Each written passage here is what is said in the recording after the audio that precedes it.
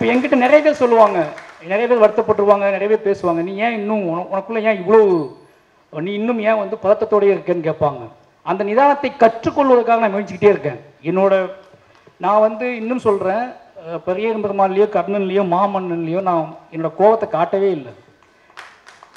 ஓகேங்களா? என்னோட கோபம்ங்கிறது அளவிட முடியாதது. என்னோட கோபத்தை திரைக்கதை வடிவமாக மாற்றவே முடியாது.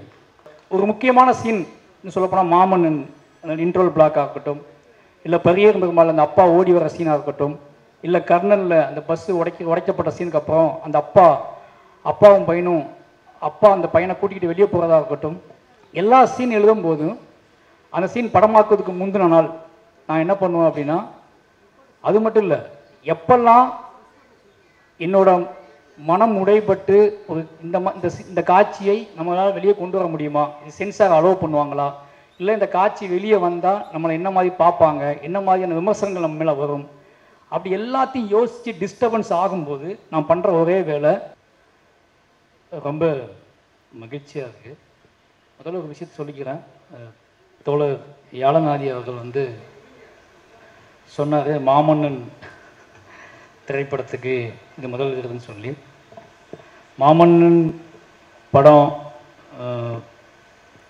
ரிலீஸ் ஆகிட்டு ரிலீஸ் ஆன ஃபஸ்ட்டு ஷோ முடியும் போதே அதுக்கான விருதுகள் தந்துட்டாங்க. ஆனால் அதை விட முக்கியமான விஷயம் என்ன அப்படின்னா எனக்கு நல்லா ஞாபகம் இருக்குது ஒரு முக்கியமான விஷயத்தை நான் சொல்லணும். பெரியரும் பெருமாள் ரிலீஸ் ஆகிருந்துச்சு படம் மக்களால் கொண்டாடப்பட்டு இருக்கு. பெரியரும் பெருமாளுக்காக முதல் விருது எனக்கு கொடுக்குறாங்க. நியூஸ் எயிட்டீனில் சிகரம் விருது சிறந்த இயக்குனருக்கான விருது. என் வாழ்க்கையில் முதல் விருது அந்த மேடையில் நான் ஏறுறேன். இந்த மேடைக்கு முன்னாடி என் குடும்பம் சார்ந்தவர்களோ என் நண்பர்கள் சார்ந்தவர்களோ யாருமே இல்லை. ஏன்னா அவங்களை கூட்டிகிட்டு போகிற அளவுக்கு நான் இல்லை பரபரப்பாக இருந்தேன். அந்த விருது எனக்கு வந்து ஃபஸ்ட் ஃபஸ்ட் டைம் அந்த விருதை வாங்குறேன். பாரதி ராஜா சார் கொடுக்குறாரு. எனக்கு அது என்ன மாதிரியான அந்த விருதை வாங்கும்போது என்ன மாதிரியான உணர்ச்சி எப்படி வெளிக்காட்டுன்னு கூட தெரில என்ன ஃபஸ்ட்டு அவார்டு நான் வாங்கிட்டு திரும்பும்போது எங்கள் அப்பா மாதிரி உட்காந்துருந்தார் திரும்பான்னு நான் நான் முடிவு பண்ணலை. அவர் வந்து பார்வையாளராக விருது கொடுக்கறதுக்காக வந்திருக்கார். நான் விருது வாங்கிட்டு கீழே போகும்போது என் காலும் நீராவட்ட தான் போச்சு.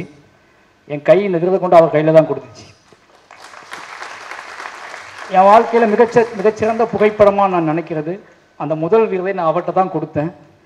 அதை வாங்கிட்டு கொண்டு போய் அப்படியே கொண்டு அவர் கையில் கொடுத்தேன். அந்த விருதை அவர் வாங்கி என்னை அணைச்சிக்கிட்டாரு. அதுதான் என் வாழ்க்கையோட மிகச்சிறந்த தருணம். மிகச்சிறந்த ஒரு விருதாக நினைக்கிறேன். அந்த விருதுக்கு அந்த மதிப்பு வந்துடுச்சு அந்த நேரத்தில்.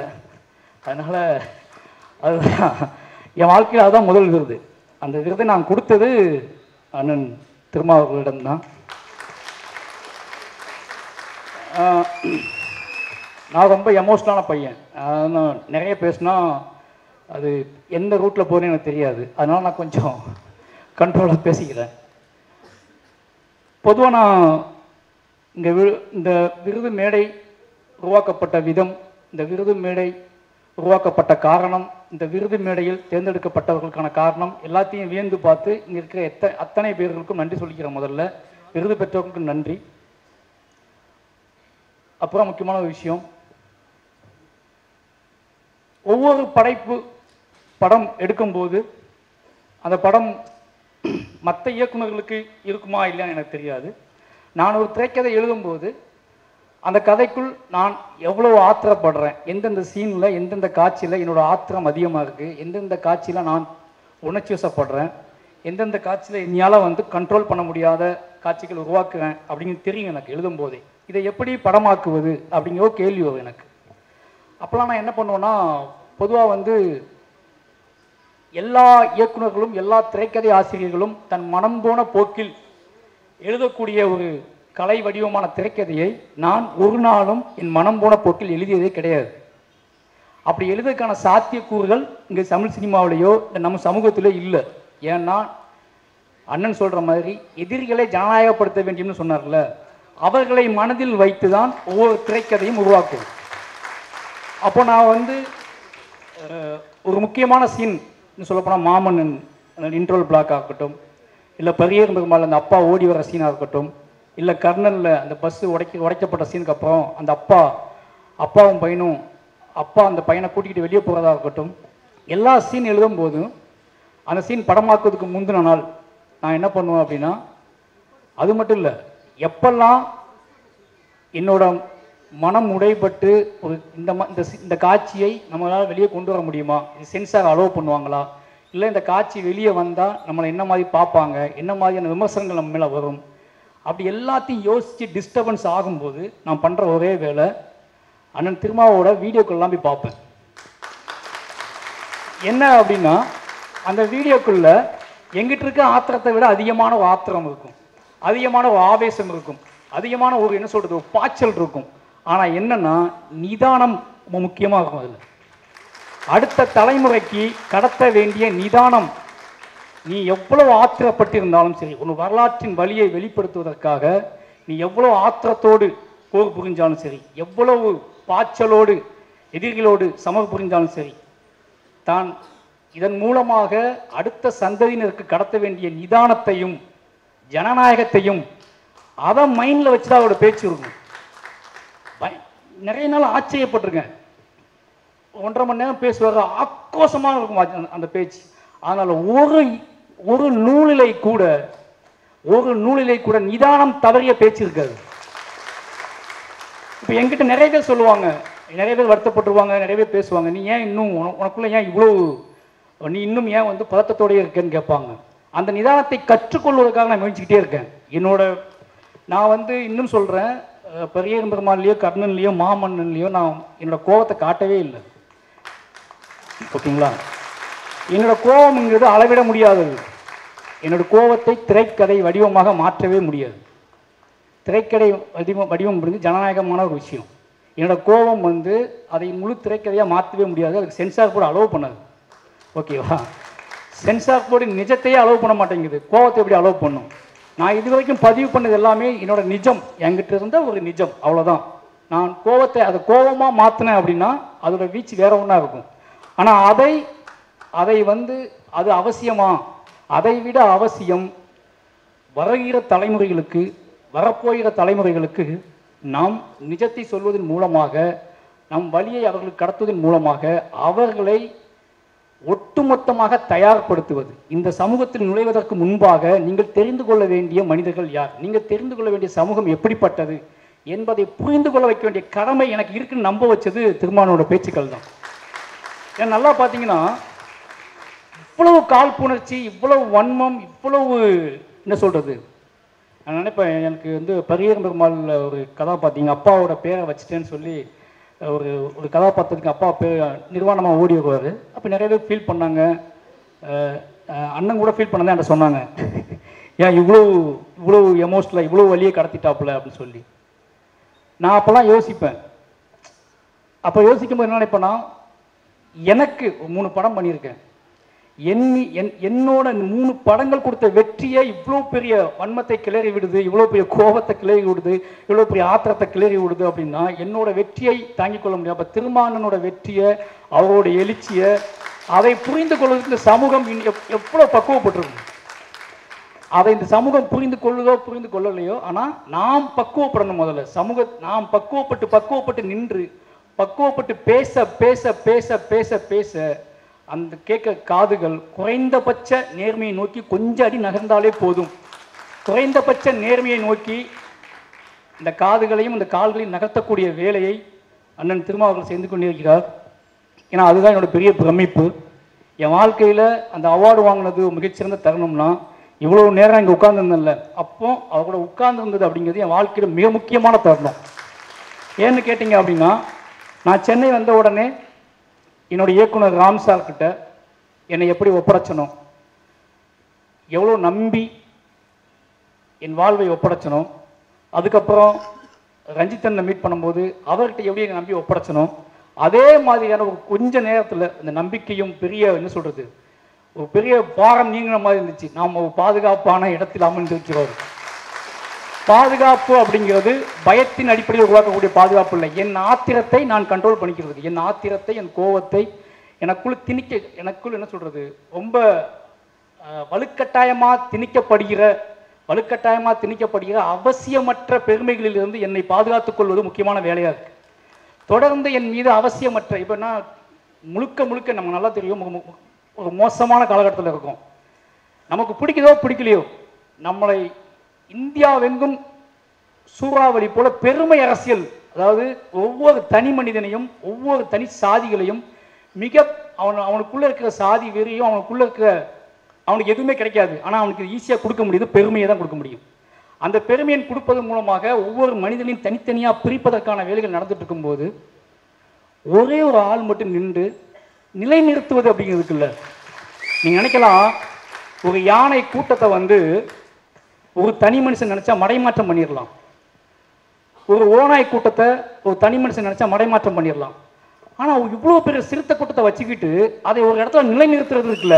ஒரு தத்துவத்தின் இடத்துல ஒரு தத்துவத்தில் ஒரு வரலாற்றில் ஒரு தத்துவத்தில் ஒரு பூரிப்பான நம்மளால் நினச்சி பார்க்க முடியாத இடத்துல கொண்டு நிப்பாட்டி சமர்ப்புறது இருக்குல்ல?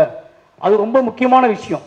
ஏன்னா யார் வேணாலும் மடைமாற்றம் பண்ணிட்டு போயிடலாம் ஒரு பெரும் கூட்டத்தை ஈஸியாக மடைமாற்றம் பண்ணி பள்ளத்தாக்குகளை தள்ளி வீழ்த்த முடியும். அது நம்ம இந்த ஓனாய் குலச்சினம்னு ஒரு நாவல் இருக்கு.